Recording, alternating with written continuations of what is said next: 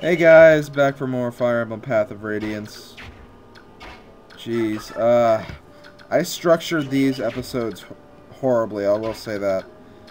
I really don't like the idea of having four, uh, around 8 to 9 minute clips when I could have had just three 11 minute clips, but that's just the way it worked out. I'm sorry. Ah, jeez, I hate when it does this. Especially for this chapter of all chapters. But anyways, we're going to try to get across this muddy river in this uh, video. It shouldn't be too hard. All you gotta do is beat up this general, first of all. You got some enemies over there. They won't be too much of a threat.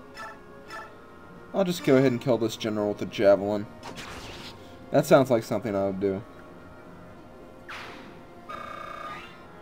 Ah, jeez. Uh, not much has been going on lately. As I mentioned in the last video, didn't get a lot of sleep the other night, but... Oh well, I'll get by. I just have less than... Well, less than three weeks. And just like two normal weeks with my roommate. And I'm even going home this weekend, so... It's not like I have to spend time with him this weekend or anything, so thankfully, I should be out of here pretty soon. Just gotta get through a few more weeks and I'll be okay. Uh, damn it, Gatrie. I wish you would have hit that stupid Pegasus Knight. And also, once you cross the Muddy River, uh, you apparently get some reinforcements. Here we have the Hawk King, uh, the Hawk's eyes, the Hawk's ears, and then we also have uh, Prince Reyson here as well. Uh, all four of them are going to actually join the battle. Uh, I think you know how all of them work as far as uh, units go. But uh, Reyson works a little bit differently.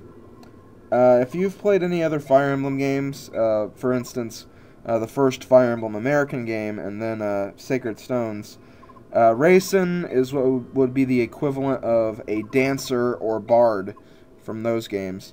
So whenever you use uh, Reyson against another unit, or one of your units, uh, they'll actually get another turn. So he's actually a very handy unit to have, and I might actually uh, take him into all the chapters uh, following once I get them. So yeah, Reyson is a very helpful unit. And uh, you pretty much know how uh, bird-type Laguz work. Uh, you know their weaknesses, uh, they're weak against arrows and wind magic. So yeah, you know how all them work, and I think Reyson kind of works the same way. Oh, and uh, Reyson also can't attack, so don't really depend on him as a physical force. Uh, otherwise, you'd be solely mistaken. But yeah, they're going to help us out because they noticed that uh, Leanne was actually on Ike's back. Uh, they don't know that it is Leanne, but they do. They did see a hair in there, so uh, they are actually going to help us out for the rest of this chapter.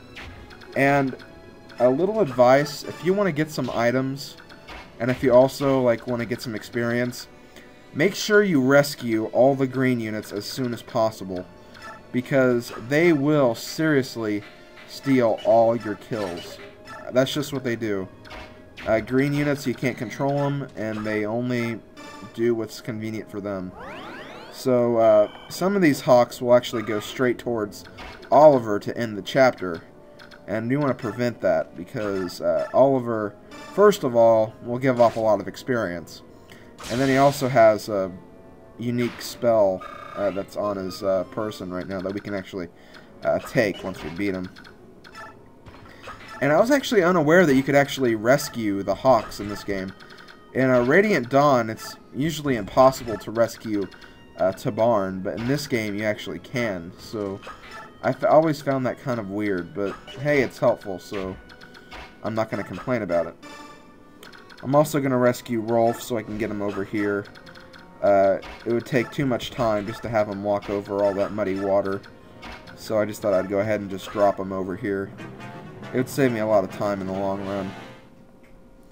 And for some reason, I still have Boyd's animation on. I meant to take it off when I first got Boyd in the last part, but I just forgot about it. And then I also forgot that uh, Muarim and Stefan's, or Stefan's uh, animation is on right now as well. So we're actually going to see those in a little bit. But yeah, rescue at least one of the Hawks and then the Hawk King as soon as possible. Because they will just go straight for the enemy commander and they will defeat him with no problem. So yeah, just make sure you rescue all of them. Uh, Reyson, I'm not sure about Reyson. You could probably not worry about him. Uh, he's not going to get into any in, uh, in, harm's way or anything. I don't know if uh, the game programmed it so the enemy won't attack the Heron, because that is technically what Oliver is after right now. So uh, I don't know if they'd actually go and try to kill the Heron. But even if they did, I think uh, Reyson tries to stay out of the way regardless. So I think that's a good thing. So yeah, we're going to see a little uh, beast action right here. Yeah, sorry I forgot to turn off the animation. I just kind of totally slipped my mind, actually. And since uh, none of my units that I actually plan to use are over here, I'm just going to go ahead and get the kills with everybody else.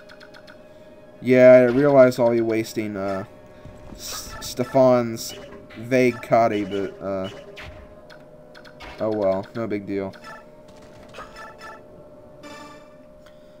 I think we'll actually get to see a critical from him. Yeah, that was pretty cool.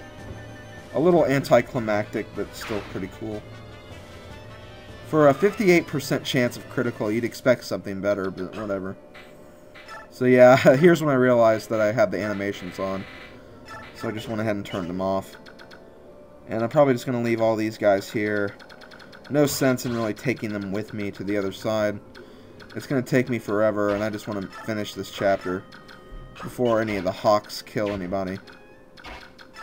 I'll just bring uh, Volk over there to give Rise an extra push.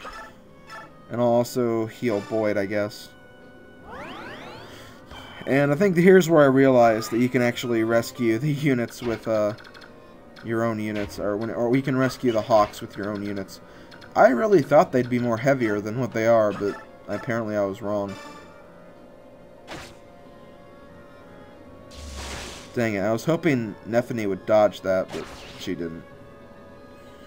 And over here we have an halberdier, a halberdier, and a general completely surrounding Oliver right now. So that's actually a pretty dangerous combination. Thankfully, though, uh, I don't think they can actually break in and get to Oliver at this point. Well, now they can, since I just killed the halberdier, but... Yeah, I wasn't thinking when I did that. No big deal, though. I think they're going to go after the general. They'll generally try to leave Oliver alone for the most part until the other three units are gone. But still, you might want to rescue him just to be safe. And I'm apparently out of time, so I'll see you in the next video, guys. Later.